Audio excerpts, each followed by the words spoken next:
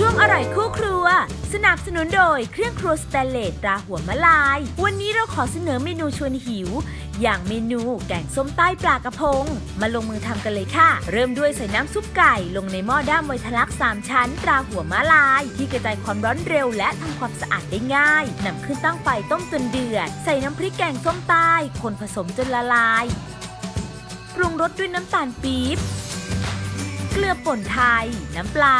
น้ำมะขามเปียกคนให้เข้ากัน ใส่เนื้อปลากระพง ต้มจนปลากระพงสุกแล้วปิดไฟ เติมน้ำมะนาวคนให้เข้ากัน